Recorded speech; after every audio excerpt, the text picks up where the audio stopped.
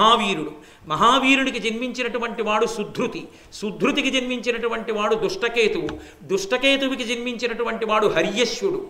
హర్యశ్వుకి స- పుట్టినటువంటి వాడు మరువు ఆ మరువుకి జన్మించినటువంటి వాడు ప్రతి ప్రతివింజుడు.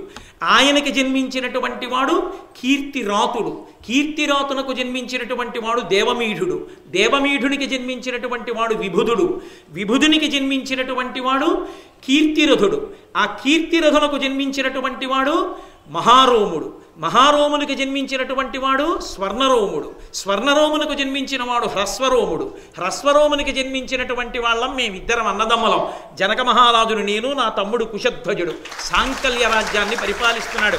కాబట్టి మేమిద్దరం అన్నదమ్ములం.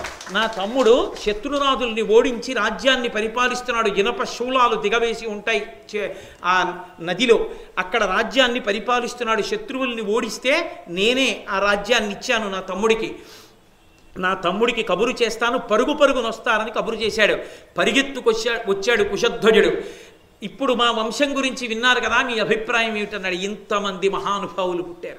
ఇరవై రెండు మంది చక్రవర్తులు. ఎంతటి మహానుభావులు? ఒక్కొక్కడి చరిత్ర కొన్ని పుటలు పుటలు పుటలు పుస్తకాలు పుస్తకాలు ఉన్న చరిత్ర. ఇటువంటి వంశంలో ఉన్న పిల్లని మా వంశానికి తెచ్చుకోవడానికి మాకేమిటి అభ్యంతరం? పరమానందంగా అంగీకరిస్తున్నామన్నారు వశిష్ఠాది మహర్షులు. పరమానందంగా పిల్లనిస్తున్నామన్నారు శతానందాది మహర్షులు. ఎప్పుడు ముహూర్తం అన్నారు. ఉత్తర ఫల్గుణీ నక్షత్రంలో సంతానకారకం కనుక ప్రాజాపత్యం కోసం అంటే ధర్మ సంతానం కోసం వివాహం కనుక సంతానం కలగడానికి యోగ్యమైనటువంటి నక్షత్రం ఉత్తర ఫల్గుణీ నక్షత్రంలో ఈ పిల్లలకి రేపే వివాహం చేస్తామన్నారు సరే సంతోషించారు. వెంటనే జనక మహారాజు గారు అన్నారు నాకు ఇంకొక కుమార్తె కూడా ఉంది. ఆమె పేరు ఊర్మిళ. మీకు అభ్యంతరం లేకపోతే రామచంద్రమూర్తి తమ్ముడైన లక్ష్మణస్వామికి ఆ పిల్లనిస్తామన్నారు చాలా సంతోషించారు రామలక్ష్మణులు ఇద్దరికీ పెళ్ళి. ఇంతలో వెంటనే విశ్వామిత్ర వశిష్ఠాది మహర్షులు లేచి ఒక మాట అన్నారు. భరతస్య కుమారస్య శత్రుఘ్నస్య చ ధీమత వరయామ సుతే రాజన్ తయోరద్ధే మహాత్మనోహో ఓ జనక మహారాజా నువ్వు అన్నగారివి నీకు అధికారం ఉంది తమ్ముడు కూతుళ్ళ మీద కూడా. కన్యాదానం చెయ్యొచ్చు. నీ తమ్ముడు కుశధ్వజుడికి ఇద్దరు కుమార్తెలు ఉన్నారు ఒక ఒక ఒక అమ్మాయి పేరు మాండవి ఒక అమ్మాయి పేరు శృతకీర్తి. ఈ దశరథ మహారాజు గారికి ఇంకో ఇద్దరు కుమారులు ఉన్నారు భరతుడు శత్రుఘ్నుడు. మీకు అంగీకారం అయితే మీ తమ్ముడి కూతుళ్ళు మాండవి శృతకీర్తుల్ని భరతుడికి శత్రుఘ్నుడికి కూడా ఇచ్చి పెళ్ళి చెయ్యండి. కన్యావరుని చేస్తున్నాం ఇస్తారా అన్నారు. పొంగిపోయాడు కుశధ్వజుడు. అన్నయ్య నువ్వు ఎలా నిర్ణయం చేస్తే అలా అన్నాడు. ఉరే తమ్ముడా ఇంతకన్నా మంచి సంబంధం వస్తుందిరా. తోడికోడళ్ళు అక్క చెల్లెళ్ళు అవుతారా? మన కడుపున పుట్టిన బిడ్డలు ఒక తండ్రి బిడ్డలకి చక్కగా భార్యలు అవుతారు ఇచ్చేస్తున్నాం అన్నారు. చాలా సంతోషం. అయితే రేపే కళ్యాణం అన్నారు. అబ్బో వెంటనే ఎన్ని విశేషాలు చెప్తారో ఆ దర్భలు ఆ పాలికలు ప్రమిదలు పేలాలు దర్ ఆ యజ్ఞానికి సంబంధించినటువంటి ఆవు నెయ్యి ఇటకలు ఈ సంభారములన్నిటినీ సిద్ధం చేశారు. రాత్రి వశిష్ఠ విశ్వామిత్ర గౌతమ శతానంద. ఇటువంటి మహర్షులందరూ కూర్చున్నారు. వశిష్ఠో వామదేవశ్చ జాబాలి రథకాశ్యప కాత్యాయన సుయజ్ఞశ్చ గౌతమో విజయస్తథ అని ఇంతటి మహాత్ములైనటువంటి మహర్షులందరూ ఆ రాత్రి గడిపారు. చక్కగా అందరూ కలిసి మరునాటి ఉదయం ఆ వివాహశాలలోకి ప్రవేశించారు. దశరథ మహారాజు గారు తన కొడుకుల యొక్క అభ్యున్నతిని కోరి కొన్ని వేల గోవుల్ని దానం చేశాడు. చక్కగా స్నాతకోత్సవం చేసి నాందీ శ్రాద్ధాన్ని నిర్వహించాడు. పెళ్ళి కుమారుల్ని తీసుకుని దశరథ మహారాజు గారు పరమ సంతోషంగా నలుగురు కొడుకులకి ఒక్కసారి పెళ్ళని వచ్చాడు. ఈలోగా భరతుడి మేనమామ యుధాజిత్ వచ్చాడు. కించిత్ దెప్పి పొడుస్తూ మాట్లాడాడు. మా మేనల్లుడు కోసం అయోధ్య వెళ్ళాం. పెళ్ళికి వెళ్ళిపోయారని తెలిసింది. అందుకని ఇక్కడికి వచ్చానన్నాడు. పిలవనే లేదు మమ్మల్ని బంధువులు కదు మరి? అలాగే ఉంటుంది. కాబట్టి ఇప్పుడు వివాహ మంటపంలో అందరూ నించున్నారు. సుముహూర్త కాలం ఆసన్నమైంది. వెంటనే ఆ జనక మహారాజు గారు ఎంతో సంతోషంతో సీతమ్మ తల్లి చెయ్యి పట్టుకుని రామచంద్రమూర్తి చేతి దగ్గరికి తీసుకొచ్చారు. పాణిగ్రహణము అంటే ఆడపిల్ల చేతిని కింద పెట్టాలి. మగపిల్లవాడు తన చేతిని అరిచేతిని అరిచెయ్యి బొటనవేలు బొటనవేలు తగిలేటట్టుగా రాసి పట్టుకోవాలి అని వేదభాష్యం. అరిచేయి అరిచేయికి తగలాలి. బొటనవేలు బొటనవేలుకి తగలాలి. అలా తగలకపోతే కూతుళ్ళో కొడుకులో పుడతారు లేదా బిడ్డలు పుట్టారు. కాబట్టి పాణిగ్రహణమునందు అరిచేతిని అరిచేతితో రాపాడించాలి వేళ్ళు కూడా బొటన వేళ్ళు కలుసుకోవాలని. కాబట్టి ఒక్కొక్క చోట ఒక్కొక్కటి సుముహూర్తం. మనకి జీలకర్ర బెల్లం పెట్టడం అంటారు. జీలకర్ర బెల్లం పెట్టడం కాదు యథార్థానికి ఒకరి కళ్ళల్లోకి ఒకళ్ళు చూసుకోవడం సుముహూర్తం. అందుకే అప్పుడు వీడియోలు తీయించడం కాదు ఒకరి కళ్ళల్లోకి ఒకళ్ళు చూసుకోవాలి. దానివల్ల అభ్యున్నతి కలుగుతుంది. అలాగే కొన్ని చోట్ల మంగళసూత్రం కట్టడం సుముహూర్తం. దశరథ మహారాజు గారి సమయానికి పాణిగ్రహణం సుముహూర్తం. చేతిని చేతికి అందించడం. సీతమ్మ తల్లి చెయ్యి పట్టుకుని వచ్చాడు దశరథ మహారాజు. వచ్చి ఇయం సీత మమ సుత సహధర్మచరీతవా ప్రతా ప్రతీచ్ఛ చైనాం భద్రం తే పాణిం గృహ్ణీష్వ పాణిన పతివ్రత మహాభాగ ఛాయేవానుగత సదా అన్నాడు. అది ఈ రామాయణంలో బాలకాండలో సీతా కళ్యాణ ఘట్టంలో దశరథ మహారా జనక మహారాజు గారు ఏ మాట చెప్పాడో ఆ మాటనే ఇప్పటికీ ప్రతి చోట కళ్యాణం జరిగేటప్పుడు చెప్తారు. మంత్రం కింద మారుతుంది. ఇయం సీత ఈమె సీత. మమ సుత నా కూతురు. సహధర్మచరీతవా నీకు ఇస్తున్నాను ఎందుకు ఇస్తున్నానో తెలుసా? ధర్మపత్నిగా ఇస్తున్నాను. ధర్మంలో నువ్వు నిలబడడానికి ప్రధానమైన ఉపకరణం అవుతుంది నీకు. ఈమె ఉంది కాబట్టి ఎడం భుజం మీద ఉత్తరీయం ఉంటుంది. ఈమె ఉంది కాబట్టి యజ్ఞయాగాది క్రతువులు చేస్తావు. ఈమె ఉంది కాబట్టి కామము ధర్మముతో ముడిబడి పితృరుణం తీర్చుకోవడానికి సంతానాన్ని కంటావు ధర్మబద్ధమైన సంతానాన్ని. చిట్ట చివరికి భోగములను అనుభవించి అనుభవించి ఈ భోగములు భోగముల అన్న వైరాగ్య సుఖాన్ని పొంది ఈమెతో కలిసి వానప్రస్థానికి ఎడతావు. సమస్త ధర్మములకు ఆధారము నా కుమార్తె నీకు. నీ జీవితం పండుతోందంటే నా కూతురు వల్లే. అని పరమ సంతోషంతో ఇస్తాడు తప్ప తల ఉంచుకుని సిగ్గుతో చేతకాని వాడిలా ఆడపిల్ల తండ్రి ఇవ్వక్కర్లేదు. అందుకే వేదిక ఆడపిల్ల తండ్రిది. పెళ్ళిలో ఆడపెళ్ళివారు గొప్పవారా మగపెళ్ళివారు గొప్పవారా అంటే శాస్త్రంలో ఆడపెళ్ళివారే గొప్పవారు. ఎందుచేత? మీకు నేను చూపించా. ఇచ్చేవాడు ఉంటే కదూ అసలు పెళ్ళి. వేదిక అంతా కూడా కన్యాదాతదే ఆయనదే. ఆయన అనుమతి లేకుండా పెళ్ళి కొడుకు తండ్రి వేదిక మీద కూడా వెళ్ళకూడదు. ధర్మం అంటే ధర్మమే. రేపు నా కొడుకు పెళ్ళి చేసినా నేను అలాగే పాటిస్తా. నా వి నా వియ్యంకుడి అనుమతి లేకుండా వేదిక మీద కూడా ఎక్క నాకు కోడల్ని ఇచ్చినటువంటి వాడు కాబట్టి ఆయనకు ఒక నమస్కారం. ఎంతో గౌరవంతో మాట్లాడాలి తప్ప చిన్నతనం చేసి మాట్లాడకూడదు ఆడపిల్లి వారిని. కాబట్టి ఇయం సీత మమ సుత నా కూతురు సహధర్మచరీతవా నీకు సహధర్మచారిణి. ప్రతీచ్ఛ చైనాం భద్రం తే పాణిం గృహ్ణీష్వ పాణిన. రామా నీ చెయ్యి చాపి పుచ్చుకో. నా కూతురు చేతి మీద చెయ్యి పట్టి గ్రహించు. పాణిం గృహ్ణీష్వ పాణిన. పతివ్రత మహాభాగ ఛాయేవానుగత సదా. ఈమె మహాపతివ్రత. నా భార్య పుట్టింట్లో ఉండగా నేర్పింది అత్తవారింట్లో ఎలా ఉండాలో. రామా నీకు తగిన ఇల్లాలు. ఈమె నీకు నీడలా నిన్ను అనువర్తిస్తుంది. నా నీడ నేను ముళ్ళకంచె మీద పడిపోతే నేను కూడా ముళ్ళకంచె మీద పడితే గుచ్చుకుంటుందని నీడ పడకుండా ఉండదుగా? అది పడుతుంది. నాకు కష్టం కలిగితే తనకి కష్టం. నాకు సుఖం కలిగితే తన సుఖం. తనకంటూ కష్ట సుఖాలు వేరే లేవు. నా కదలిక తన కదలిక. నేను ఆగిపోవడం తాను ఆగిపోవడం. ఛాయేవానుగతా సదా. రామ నిన్ను నీడలా అనువర్తిస్తుందన్నాడు. మహాతల్లి తండ్రి మాట నిలబెట్టింది. రామా నీవు లేని అయోధ్య నాకెందుకయ్యా? నేను నాతంత్రీ వజ్జతే వీణ నాచక్రో వర్తతే రథ నాపతి సుఖమే దేత యస్యాదపి శతాత్మజ. వీణ తీగలు పెనగ పెనగి మోగుతాయి. వీణ మోగుతోందంటారు. నాతంత్రీ వజ్జతే వీణ నాచక్రో వర్తతే రథ. రథం వెళుతున్నప్పుడు రథచక్రాలు ముళ్ళ మించి కంపల రప్పలమించి మించి వెడతాయి. రథచక్రాలు కష్టపడి వెడుతూ ఉంటే రథచక్రాలు నడుస్తున్నాయని రథం నడుస్తోందంటారు. భర్త ఎంతో కష్టపడి కీర్తి సముపార్జించుకుంటాడు. ఆయన సముపార్జించుకున్న కీర్తి వలన ఆమె పూజనీయతని పొందింది. భర్త వలన పొందింది తప్ప ఆ భర్త వలన తాను పొందినది అమితం. ఎంతైనా ఇవ్వగలడు భర్త. అటువంటి భర్త ఇచ్చినటువంటి దాని ముందు నూరుగురు పుత్రులు మంచి కొడుకులు తెల్లవారి నిద్రలేస్తే తల్లి కాలు కింద పెడుతుంటే అమ్మా నీ పాదములు కింద పెట్టద్దని తమ అరిచేతులు నేల మీద పెట్టి తమ చేతులలో నడిపించగలిగిన నూర్గురు యోగ్యులైన కొడుకుల వలన తల్లిగా తాను పొందిన సుఖం కన్నా భర్త వలన పొందిన సుఖమే ఎక్కువ. రామా ఇక్కడుండమంటామేమిటి మీతోనే వస్తా. మీరున్నది అయోధ్య మీరు లేని దడవంది మా నాన్నగారు చెప్పారు ఛాయేవానుగత సదా నీడవా వస్తా మీ వెంట. తప్ప నేను ఇక్కడ ఉండనంది తల్లి. తండ్రి మాట నిలబెట్టింది కన్యాదాన సమయంలో జనక మహారాజు గారు ఏ మాట అన్నాడో ఆ మాటకి అనువర్తించి ప్రవర్తించింది నా తల్లి జనకమ్మ. కాబట్టి ఇయం సీత మమ సుత సహధర్మచరీతమా ప్రతీచ్ఛ చైనాం భద్రంతే పాణిం గృహ్ణీష్వ పాణిన పతివ్రత మహాభాగా ఛాయేవానుగత సదా అని పిలిచి కన్యాదానం చేసి పాణిగ్రహణం చేయించాడు. భద్రంతే మీరు పది కాలములు సంతోషంగా ఉండాలి. ఈ మాటలంటే చాలా సంతోషించారు. సంతోషించి జనక మహారాజు గారు లక్ష్మణస్వామిని పిలిచారు. లక్ష్మణాగచ్చ భద్రంతే ఊర్మిళా దుర్జితామయ ప్రతీచ్ఛపాణిం గృహ్ణీష్వామహూత్కాలస్య పర్యయ. సుముహూర్తం అంటే సుముహూర్తమే. సుముహూర్తానికి వేదిక మీదకి రావడం కాదు. సుముహూర్తానికి వేదిక మీదకి వస్తే పరమ దోషం ఎవరిదంటే పెళ్ళి కూతురు తండ్రిది పెళ్ళి కొడుకు తండ్రిది. పెళ్ళికి ముందు కొంత అంగం ఉంది. అది జరిగితే కదూ సుముహూర్తం సుముహూర్తం అయిపోతోందని బ్రహ్మగారు కాళ్ళు చేతులు తన్నుకోవడం కాదు గోనె బస్తాలు మూట కట్టేసిన వాడిని తన్నుకున్నట్టు. ఆ బాధ ఉండవలసిన వాడు కన్యాదాతకి ఆ బాధ ఉండవలసిన వాడు పెళ్ళి కొడుకు తండ్రికి. అరే ఇంత క్రియాకలాపం ఉంది దేవతల అనుగ్రహాన్ని సంపాదించుకోవాలి మనం వేళపట్టున వెళ్ళాలి వేదిక మీద కానీ పరిగెత్తాలి. చక్కగా ప్రశాంతంగా వివాహక్రతువు నడవాలి.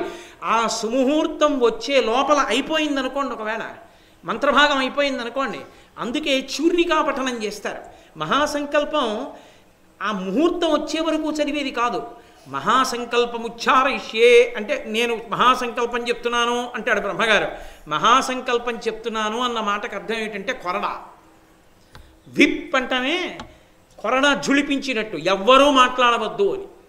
ఆ కన్యాదానం జరుగుతుండగా మహాసంకల్పం జరుగుతుంటే పూర్తిగా అయిపోయే వరకు ఎవరు మౌనంగా ఉన్నారో వాళ్ళందరూ ఆ సభాస్థలిలో కూర్చున్న వాళ్ళందరూ ఆ కన్యాదానం చేసినట్టు వేసేస్తారు. ఓ సీతా కళ్యాణం మీరు చూస్తున్నారనుకోండి మహాసంకల్పం చదువుతున్నారనుకోండి సభలో నిశ్శబ్దం. మాట్లాడకూడదు. ఎవరు మాట్లాడకుండా ఉన్నారో వాళ్ళు పీటల మీద కూర్చుని సీతా కళ్యాణం చేసేసినట్టే. మాట్లాడారనుకోండి మీరు అప్పటి వరకు చూసిన పుణ్యం కూడా పోయినట్టే. అందుకే మహాసంకల్పం చదివేయకూడదు. నేను మహాసంకల్పం చెప్తున్నానని చెప్పి చెప్పాలి. మహాసంకల్పానికి అంత శక్తి. అందుకే మహాసంకల్పము జరుగుతుండగా కన్యాదాత దగ్గరికి వెళ్ళి ఎవ్వరూ మాట్లాడకూడదు. మౌనంగా ఉండాలి.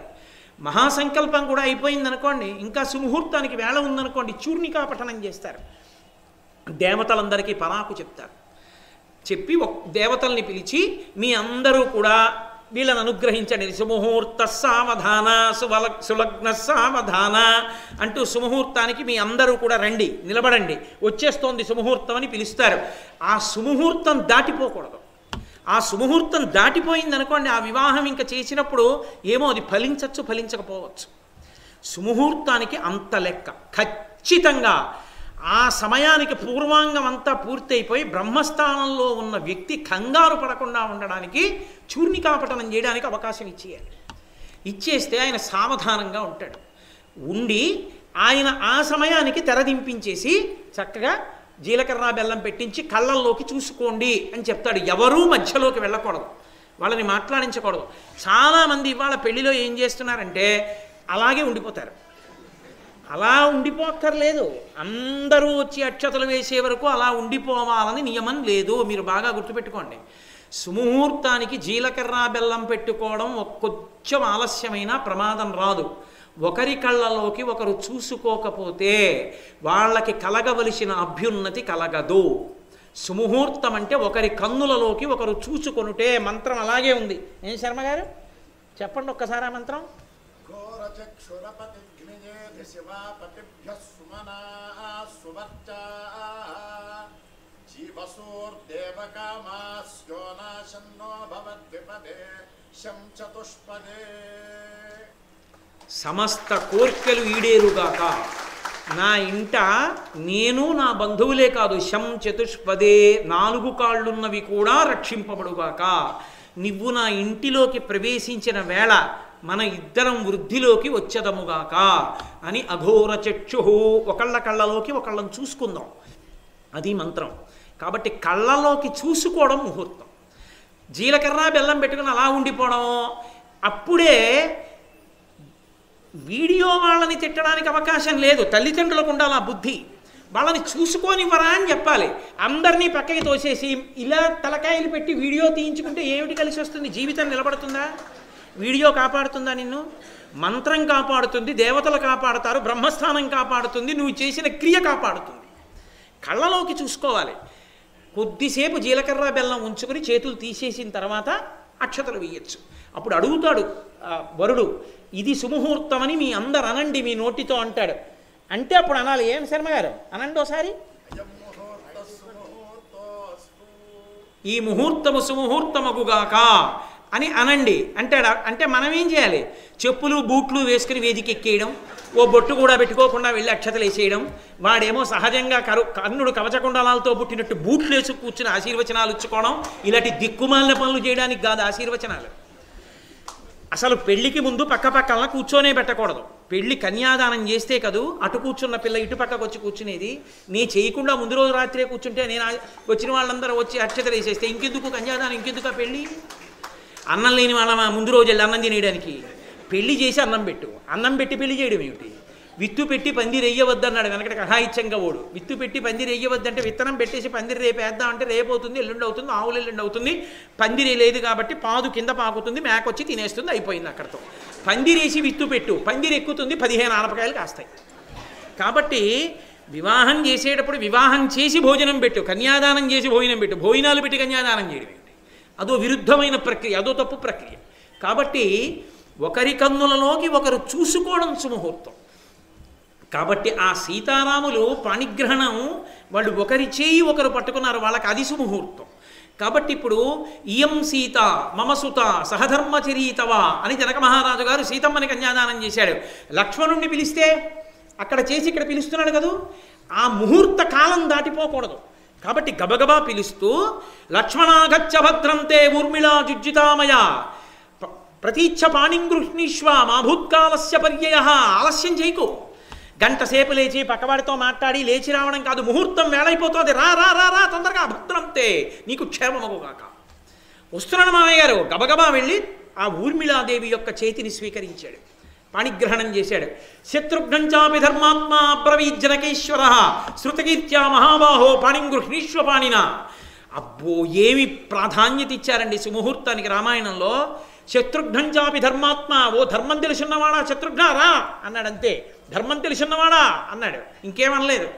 లక్ష్మణుడి దగ్గరికి వచ్చేటప్పటికి ఆలస్యం చేయకు అనవలసి వచ్చింది. ఎందుకని? అలా ఉండిపోతాడా సీతారాముల్ని చూసుకుని మా అన్నయ్య? అబ్బా మా వదినమ్మ నా జన్మ చాలు వీళ్ళకి సేవ చేసుకునని. అలా ఉండిపోయాడు మా భూత్కాలస్య పర్యా వెంట పెడదు కానీ రా. పిలిచాడు శత్రుఘ్నుణ్ణి శత్రుఘ్నం చాపి ధర్మాత్మ అబ్రవీ జనకేశ్వర. జనకేశ్వరుడు అన్నాడు సుముహూర్తం వేళ ధర్మాత్మ రా రా రా రా రా. శృతకీర్త్యా మహాబాహో పాణిం గృహ్ణీశ్వ పాణిన. శృతకీర్తి యొక్క చేతిని పుచ్చుకోవయా చెయ్యందుకుని అన్నాడు. చేతిని పుచ్చుకున్నాడు. అలాగే భరతుడు మాండవిని పాణిగ్రహణం చేశాడు. రామలక్ష్మణ భరత శత్రుఘ్నులకి సీత ఊర్మిళ మాండవి శృతకీర్తులనిచ్చి పాణిగ్రహణం వివాహ కార్యక్రమం పూర్తయిపోయింది. చక్కగా నలుగురు అన్నదమ్ములు నలుగురు భార్యలతో కలిసి దశరథ మహారాజు గారితో సంతోషంగా అయోధ్యా నగరానికి బయలుదేరుతున్నారు. వాళ్ళ దాంపత్యం ఎంత వర్ధిల్లిందన్నారంటే వాల్మీకి మహర్షి ప్రియాతు సీతారామస్య దాతా పితృకృత ఇది దారాహ పితృకృత ఇది గుణాద్రూప గుణాఛాపి ప్రీతిర్భూయోభ్యవర్ధత అన్నారు. అసలు రాముడికి లక్ష్మణుడికి భరతుడికి శత్రుఘ్నుడికి కూడా నాలుగు విష్ణువేగా?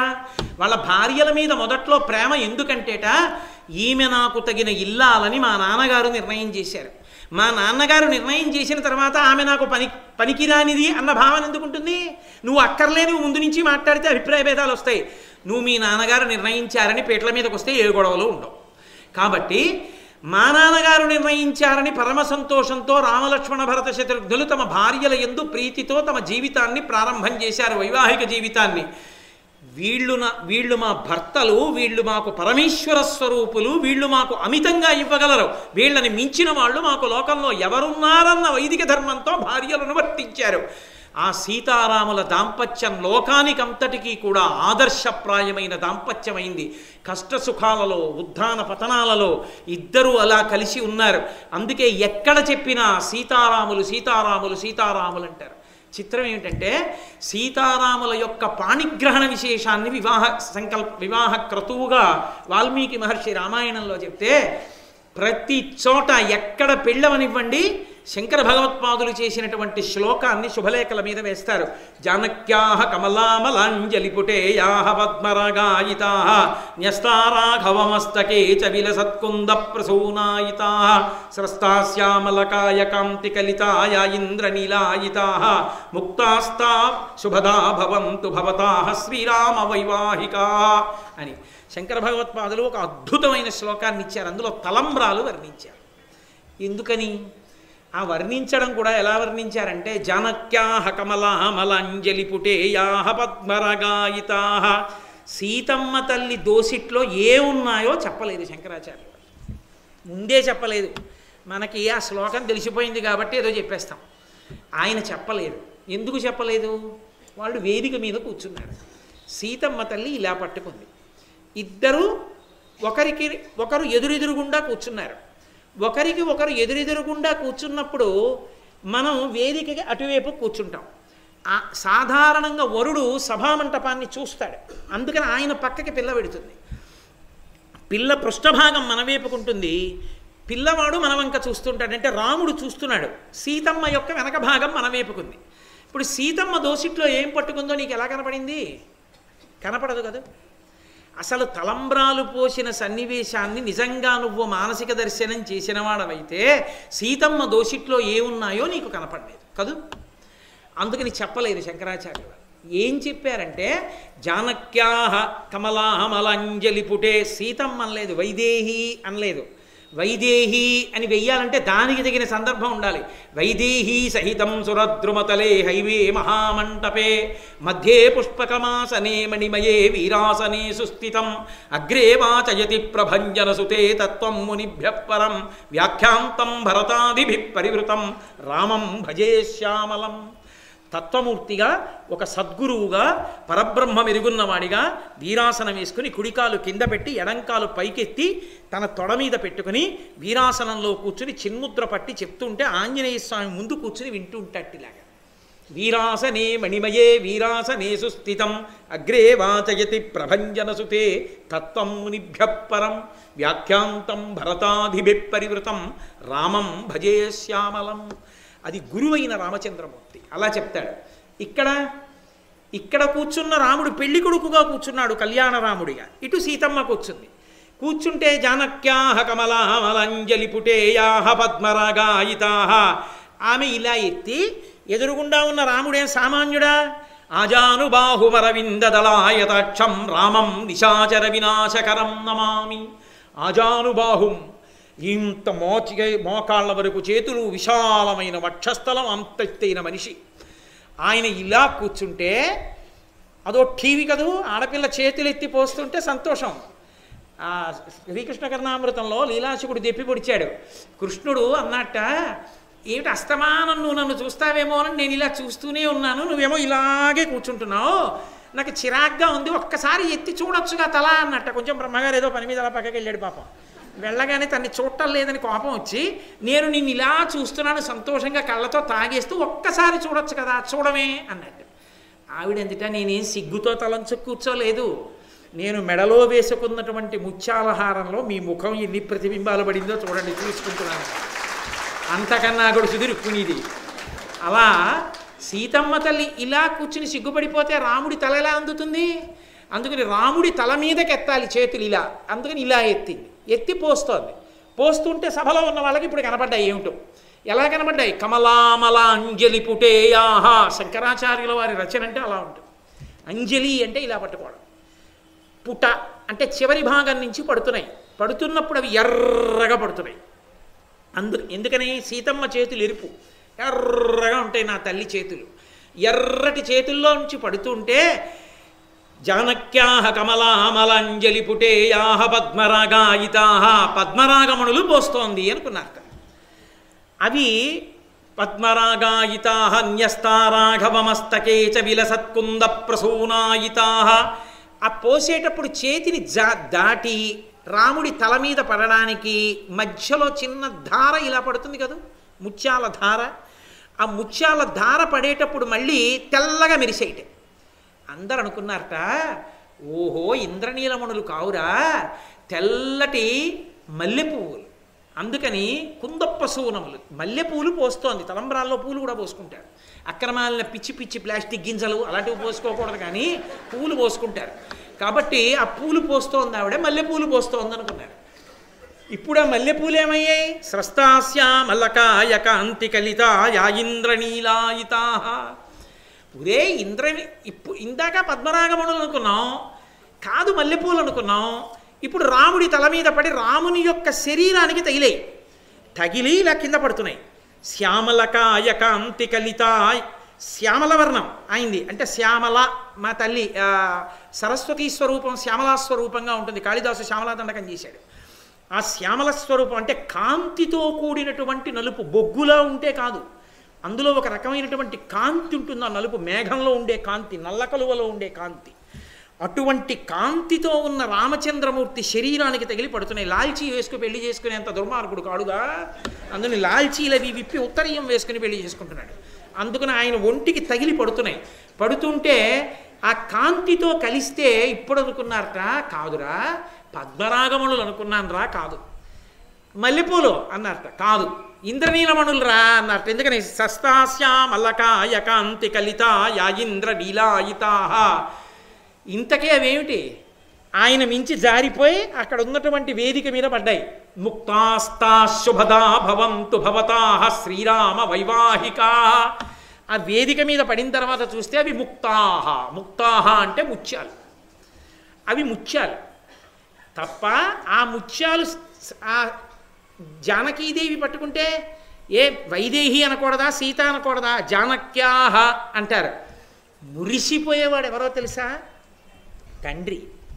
తన కూతురు చిన్ని తల్లిని తొడ మీద పడుకోబెట్టుకుని ఊపుతుంటే పడుకున్న తల్లి పాల సీసా నోట్లో పెట్టి తిత్తి పెడితే పాలు తాగిన తల్లి స్కూలుకి టైం అయిపోతోందని ఏడిస్తే తను గబగబా చిన్న కొప్పేసి బూట్లేసి సాక్స్ వేసి బూట్లు కట్టి ఇంకా టైం అయిపోతోందంటే స్కూటర్ మీద పక్కనున్న స్కూల్కి తీసుకెళ్ళి దిగబెడితే ప్రేయర్కి పెరిగెత్తిన తల్లి ఇప్పుడు పెళ్ళి కూతురు అయిపోయి బుగ్గన చుక్క పెట్టుకుని కళ్యాణ తిలకం పెట్టుకుని ఇక్కడ జీలకర్ర బెల్లం పెట్టేసుకుని అట్ట కట్టేసి నిద్ర లేక కళ్ళు ఎరుపు చీరలు వచ్చేసి ఆ పవిట కొంగు ఆ పెద్ద పట్టు చీర ఆ పెద్దరికం మెళ్ళో పసుపు తాళ్ళు వీటితోటి చేతులెత్తి తలంబ్రాలు పోస్తుంటే ఏమిటి నా కూతురే ఇంత పెద్దదైపోయిందని పొంగిపోతాట ఆ తండ్రి.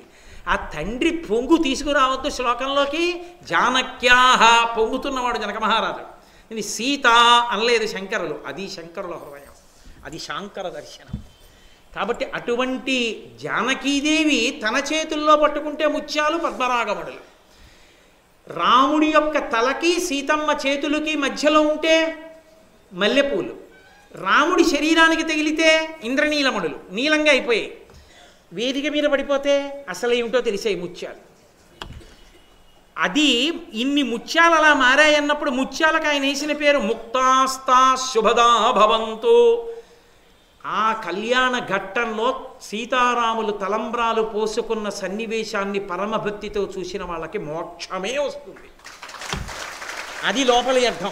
ముక్తాస్తా శుభదా భవంతు. ఒక్క మోక్షమేనా అండి? ఇంకేమేమిదా మీకు ఏం శుభం కావాలనుకున్నారో అవన్నీ ఇచ్చేస్తాయి.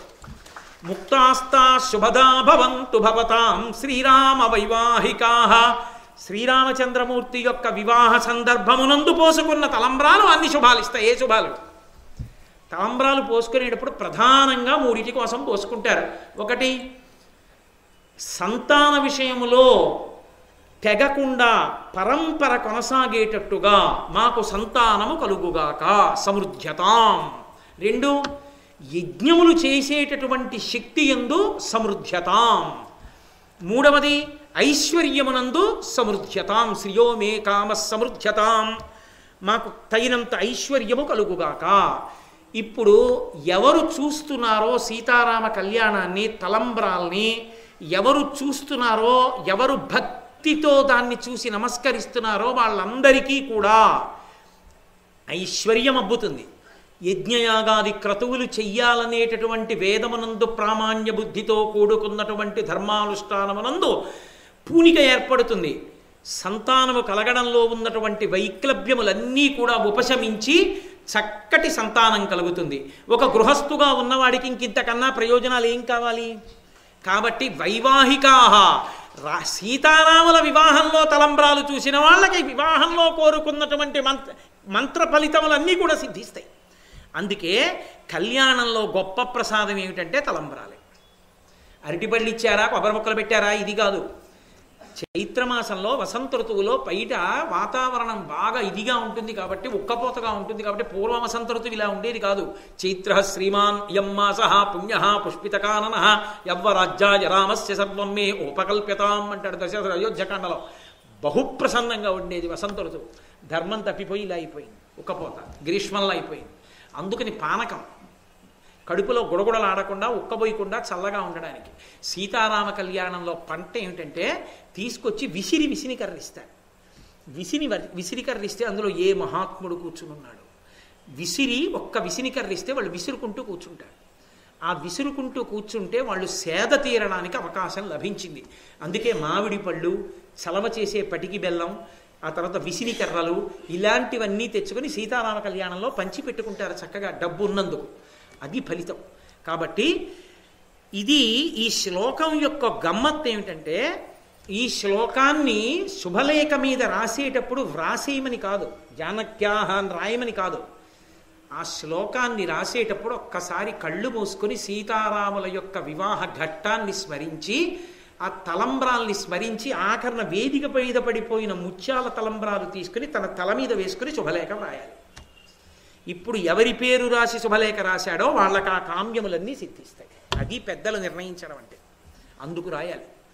కాబట్టి జానక్యాహ కమలామలంజలి పుటేయాహ పద్మరాగాయితాహ అని వివాహమునందు గృహస్థు ఏం కోరుకుంటాడో అక్కడ ఏమైనా దోషాలు జరిగి పొందలేకపోతే అవి సీతారామ కళ్యాణం చేసినా చూసినా అనుగ్రహింపబడుతుంది. అంత గొప్ప కళ్యాణం సీతారామ కళ్యాణం.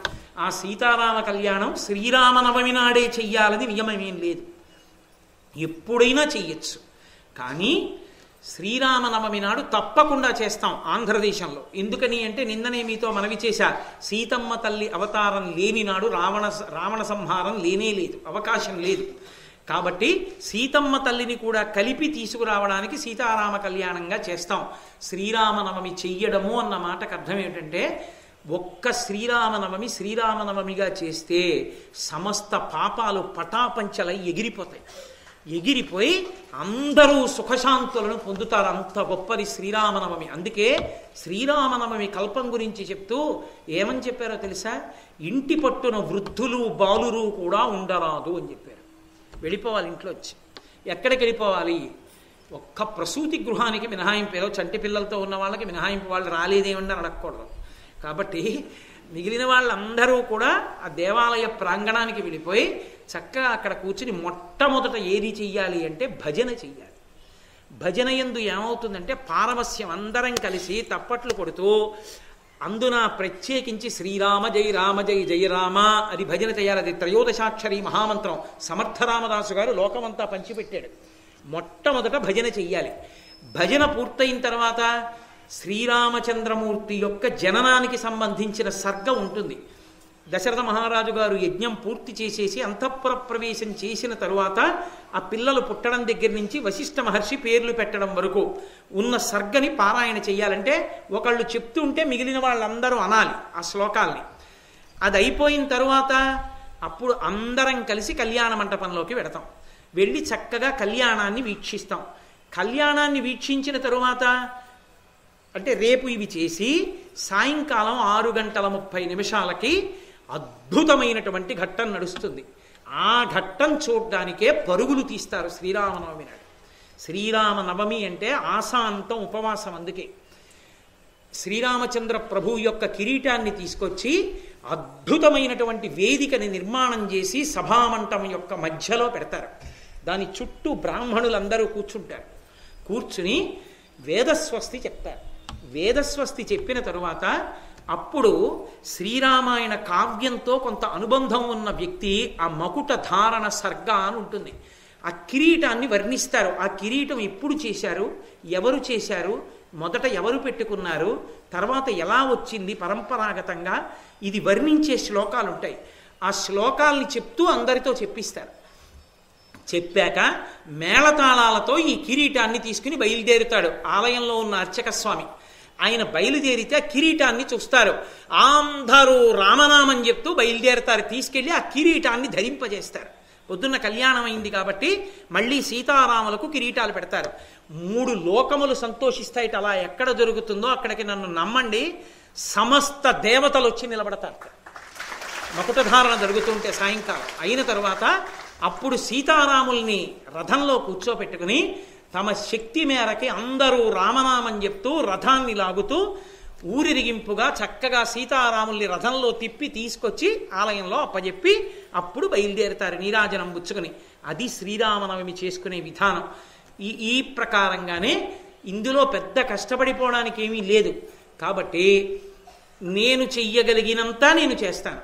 అభ్యున్నతిని అందుకోవడం ఎవరికి అదృష్టం ఉంటే వాళ్ళ చేతిలో ఉంటుంది. అందుకే రేపటి రోజు ఖచ్చితంగా ఉదయం ఎనిమిది గంటల ముప్పై నిమిషాలకి శేషు బృందం అంతా వచ్చి భజన ప్రారంభం చేస్తుంది. ఎంతమంది రాగలరో అంతమంది రండి. కొంతసేపు భజన జరుగుతుంది. భజన జరిగిన తర్వాత మీరు వచ్చేటప్పుడు అందరూ కూడా తెల్ల కాగితాలు పెన్ను తీసుకురండి. రేపు శ్రీరామనవమి. అద్భుతమైన రోజు. దేవాలయం అంతా ఒకేసారి గంటలు మోగుతాయి. గంటలు మోగగానే అందరం రామనామాన్ని ఆపేస్తాం. ఆపేసి మళ్ళీ గంటలు మోగే వరకు అంటే ఒక పదిహేను నిమిషాల పర్యంతం అందరం కూడా శ్రీరామ శ్రీరామ శ్రీరామ అని పదిహేను నిమిషాలు ఎంత రాయగలిగితే అంత శ్రీరామనామం రాస్తాం. రేపటి రోజున చిన్నపిల్లలు చక్కగా వాళ్ళ అభ్యున్నతికి అదే హేతు శ్రీరామ రక్ష. వైదికమైన బట్టలు కట్టుకునే ఆడపిల్లలు మగపిల్లలు. వచ్చి కనీసంలో కనీసం పోని ఏ బట్టలు కట్టుకున్నా వచ్చి దేవాలయంలో కూర్చుని శ్రీరామనామం వ్రాస్తే అందులో గోపాలకృష్ణ గారిని పరీక్షాధికారిగా నియమిస్తున్నాను. గోపాలకృష్ణ గారు ఆ పిల్లల పేపర్లన్నీ తీసుకుని అందులో ఎక్కువ రామనామం వ్రాసినటువంటి పిల్లల్ని ఎవరో ఒకరినో ఇద్దరినో కాదు కొంతమంది పిల్లల్ని సెలెక్ట్ చేస్తారు. ఆ పిల్లలందరికీ కూడా నేను ప్రత్యేకంగా రేపటి రోజున ఎస్పీ గారు చాలా సంస్కారము భక్తి తత్పరుడైన వ్యక్తి ఇప్పుడు జిల్లాకి. ఆయన్ని ప్రార్థిస్తాను. సీతారామ కళ్యాణం అయిపోగానే అదే వేదిక మించి ఆ పిల్లలందరికీ భద్రాచలం నుంచి వచ్చిన రామ మాడలు బహూకరింపబడతాయి. వాళ్ళు రామమాడలు పుచ్చుకుంటారు. మనం రాసినటువంటి రామనామాన్నంతటినీ కూడా ఒక పెద్ద డబ్బా పెడతారు. అందులో వేస్తే మీరెవ్వరూ రూపాయి కాసి ఇవ్వక్కర్లేదు. పరమభక్తి కలిగిన వాడు అపారమైన రామ భజన చేయడం జీవితంలో అలవాటు పడిపోయిన వాళ్ళు కాబట్టి ఆ ఖర్చులేవో భద్రాచలం వెళ్ళడానికి మా సత్సంగ సభ్యులం భరించి శేషుని ఆ వీరభద్రరావు గారిని ఆ రామనామం అంతా ఇచ్చి భద్రాచలం పంపించి కాకినాడలో సీతారామ కళ్యాణంలో యావన్ మంది భక్తులు వ్రాసుకున్న రామనామం అని ఇదంతా పట్టుకెళ్ళి భద్రాచలంలో సమర్పణ చేసి తిరిగి వస్తారు రేపు చక్కగా మనం ఈ ఏర్పాటు చేసుకుందాం. కాబట్టి అక్కడికి వచ్చి పెన్ను ఉందా కాగితం ఉందా గుడివాళ్ళు ఇస్తారా అని అడగద్దు. ఓ కాగితం పెన్ను తెచ్చుకోండి. పదిహేను నిమిషాల కన్నా ఎక్కువ సమయం ఉండదు. పిల్లలందరూ లోపల కూర్చుంటారు. పెద్దవాళ్ళమందరం బయట కూర్చుందాం. కూర్చుని దేవాలయంలో గంటలు మోగడమే గుర్తు. శ్రీరామ నామం రాద్దాం. మళ్ళీ గంటలు మోగి నీరాజనాలు ఇస్తారు దేవాలయాలన్నింటిలో. అదే గుర్తు. ఆప్ చేసేద్దాం. పట్టుకెళ్ళి డబ్బాల్లో వేసేద్దాం. వేసేసిన తర్వాత శ్రీరామ జనన సర్గ అందరితో చెప్పిస్తాను. చక్క అందరూ శ్రీరామ జననం సర్గ చెప్దురు కానీ చెప్పిన తరువాత మనందరం కలిసి పక్కన కళ్యాణ మంటపంలోకి వెళ్ళిపోదాం. వెళ్ళిపోయి హాయిగా కళ్యాణ మంటపంలో కూర్చుని ఆచార్యులు గారు బహుశ్రద్ధతో ఏర్పాట్లన్నీ చేశారు. ఆ పోలీసు శాఖ వారు ఎంత కష్టపడి ప్రాణం పెట్టి చేస్తున్నారు ఏర్పాట్లు. చక్కగా రేపటి రోజున అక్కడ మనం ఆ పానకం పుచ్చుకుని సీతారామ కళ్యాణాన్ని కొన్ని వేల మందిని వీక్షించి రామనామంతో మార్మోగిపోగా కళ్యాణం అయిపోయిన తర్వాత తలంబ్రాలు శిరస్సును ధరించి బయలుదేరుదాం ఈ దెబ్బతో వచ్చేసారి సీతారామ కళ్యాణం చెయ్యాలంటే ఆచార్యులు గారు పది బస్తాల బియ్యం తలంబ్రాలు కలపాలి. అంతమందిని వచ్చి సీతారామ కళ్యాణం చూద్దాం. చక్కగా తలంబ్రాలు శిరస్సును ధరించి బయలుదేరదాం సాయంకాలం ఆరు గంటల ముప్పై నిమిషాలకి రామచంద్రమూర్తిది సీతమ్మది కిరీటాలు తెచ్చి ఇక్కడ పెడతారు. బ్రాహ్మణులు వేదస్వస్తి చేస్తారు. శర్మగారు మీరు రండి. రేపు సాయంకాలం. వస్తే చక్క వేదస్వస్తి జరుగుతుంది. ఆ వేదస్వస్థ అయిపోయిన తరువాత కిరీటాల్ని పట్టుకెళ్ళి రామచంద్ర ప్రభువుకి సీతమ్మకి అలంకరించి రథం తిరుగుతుంది. ఆ రథం వెంట రామనామం చెప్తూ మనందరం తిరిగొచ్చి లోపలికి స్వామి వెళ్ళాక నీరాజనం తీసుకుని ఇంటికి ఎడదాం అలా చేసుకోవాలి శ్రీరామనవమి. అంత వైభవోపేతంగా ఈ సంవత్సరం చేసుకుందాం. రేపు ఎనిమిది గంటల ముప్పై నిమిషాల కల్లా వచ్చిన వాళ్ళు శ్రీరామనవమిని ధన్యాత్ములై చేసుకుందరు కానీ చక్కగా పిల్లల్ని తీసుకురండి. వాళ్ళకి ఒక మంచి జీవితం రామనామం దాని వైభవం అలవాటు పడతాయి. శ్రీరామనవమి నాడు వ్రాసిన ఆ శ్రీరామనవమే ఆ శ్రీరామ నామమే బిడ్డలకు శ్రీరామ కాపాడుతుంది. కాబట్టి రేపటి రోజున మనందరం శ్రీరామనవమిని ఇలా చేసుకుని ధన్యులమవుదాం రామచంద్రమూర్తి యొక్క సీతమ్మ యొక్క పరిపూర్ణ అనుగ్రహాన్ని పొందుదాం. అలాగే ఈ నెలలో ఐదు ఆరు తారీఖులలో ఆ సర్పవనంలో ఉన్నటువంటి నీలకంఠేశ్వర స్వామి వారి ఆలయంలో దక్షిణామూర్తి యొక్క ధ్యానము ఆ మూర్తి వైభవం మీద రెండు రోజులు ప్రసంగాలు చేస్తా. అసలు నాకు తెలిసి కాకినాడ పట్టణంలో అటువంటి ఏర్పాటు లేదు. నారదకుండమని తనంత తాను ఏర్పడింది. ఎప్పుడు కలువ పూలతో ఉంటుంది ఆ సరోవరం. ఆ సరోవరం ఒడ్డున ఒక పెద్ద మర్రి చెట్టు ఉంది. తనంత తాను మొలిచింది. ఆ మర్రి చెట్టు దక్షిణాభిముఖంగా అవకాశం ఇచ్చింది. దక్షిణాన్ని చూస్తూ దక్షిణామూర్తి విగ్రహాన్ని కాంచీపురంలో ఉన్నటువంటి శిల్పులు మహాద్భుతంగా చెక్కారు. ఎంత అద్భుతం అంటే నాకు తెలిసినంత వరకు నాకు తెలిసినంత వరకేమి నిష్కర్షగా చెప్పచ్చేమో. ఏం గోపాలకృష్ణ గారు? కాకినాడ పట్టణం కాదు ఈ చుట్టుపక్కల ఎక్కడా లేదటువంటి దక్షిణామూర్తి. అంత గొప్ప దక్షిణామూర్తి విగ్రహం వచ్చింది. దాన్ని మనం ఎనిమిదో తారీఖున ఉదయం ప్రతిష్ఠ చేస్తున్నారు. దానికి పూర్వాంగంగా ఆరు ఏడు తారీఖుల్లో ఆ సర్పవరం నీలకంఠేశ్వర స్వామి ఆలయంలో దక్షిణామూర్తి వైభవం దక్షిణామూర్తి ధ్యానం ఎలా చెయ్యాలి అన్న దాని గురించి రెండు రోజులు ఉపన్యాసాలు ఉంటాయి. తర్వాత అధివాసాలు దక్షిణామూర్తి ప్రతిష్ట ఉంటాయి. ఈ కార్యక్రమాల్లో కూడా పాలు పంచుకొనవలసిందిగా మీ అందరికీ ఆహ్వానం అందజేస్తూ రేపు ఉదయం ఎనిమిది గంటల ముప్పై నిమిషాలకి మళ్ళీ మనందరం కలుసుకుందాం. మంగళాశాసన పరై పదాచార్య పురోగమై సర్వైశ్చ పూర్వైరాచార్యై సత్కృతాయాస్తు మంగళం. మంగళం కోసలేంద్రాయ మహనీయ గుణాత్మనే చక్రవర్తి తనూజాయ సర్వభౌమాయ మంగళం. ఉమాకాంతాయ కాంతాయ కామితార్థప్రదాయినే శ్రీగిరీశాయ దేవాయ మలినాథాయ మంగళం. సర్వం శ్రీ ఉమామహేశ్వర పరబ్రహ్మార్పణమస్తు. స్వస్తి.